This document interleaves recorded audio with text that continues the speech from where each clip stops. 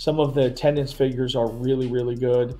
Um, and we didn't see that years ago that, oh, baseball's over there. But now, I mean, there's some people making huge investments, and I'm excited about everything that's coming forward.